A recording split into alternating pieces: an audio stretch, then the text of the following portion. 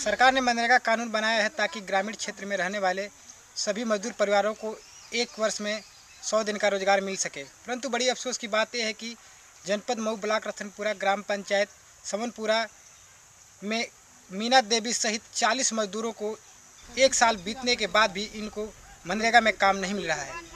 काम में धंधा करने खोजते हैं काम धंधा मिली तो अपन करते जा जेते जा खरीदते जा।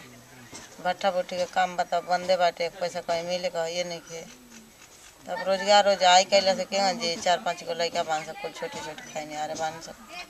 अच्छा कितना दिन से काम नहीं मिलत? आठ महीना करीबन से नहीं काम मिलत। कितना लोगन के नहीं मिला बहुत लोग के जितना गाँव में बन सब बैठल है ना बा।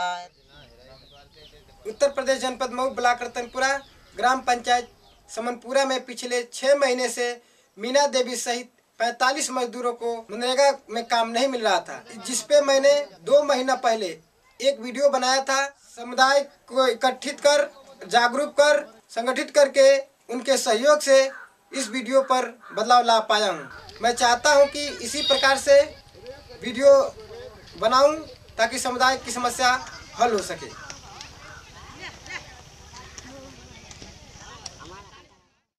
समस्या ये रहल छह महीना से काम धाम ना मिलत हल आय सतेंद्र भाई आई नहीं था कुल प्रधान जी के बोला के मीटिंग मीटिंग आ कुल वीडियो कैमरा कैनी ले जाके वीडियो कैमरा क के अपन देखौनी सुनौनी तब से काम मिलल हल दस पंद्रह दिन काम भइल।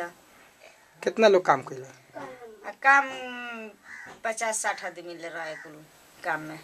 उतना आदमी के काम मिलल है इतना दिन ले आदमी बैठल हल